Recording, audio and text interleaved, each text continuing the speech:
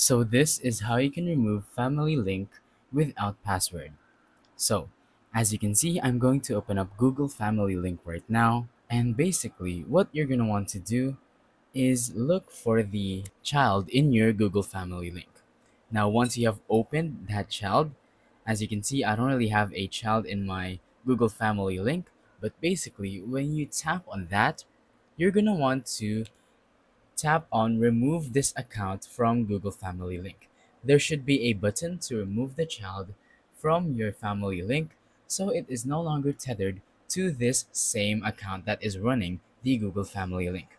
So basically what you're going to want to do is remove it and it's going to ask for the password of the family link. So there should be a family UID that you know and you're going to have to type it in.